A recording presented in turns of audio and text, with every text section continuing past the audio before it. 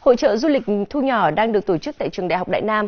Mô hình này do chính các bạn sinh viên chủ động điều hành và tổ chức, thu hút hàng trăm người tham gia.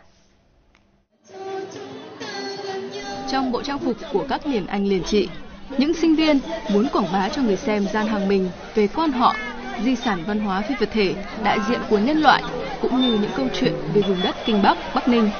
Chàng trai cô gái trẻ phấn khởi khi được chú ý. Ờ, là một người làm truyền thông, em muốn quảng bá hình ảnh ờ, quan họ Bắc Ninh đến với tất cả mọi đến tất cả các bạn trẻ sinh viên Việt Nam và và gửi đến một thông điệp đó là chúng ta nên bảo vệ và gìn giữ những giá trị văn hóa của dân tộc. Đặc trưng văn hóa ba miền đất nước đã hội tụ ngay trong chính hội trại nhỏ này. Mỗi gian hàng một bản sắc riêng, từ di sản đến ẩm thực, sản vật và con người. Cũng đã có những hành động đẹp, thiết thực khởi phát, giúp khuếch trương hình ảnh Việt Nam.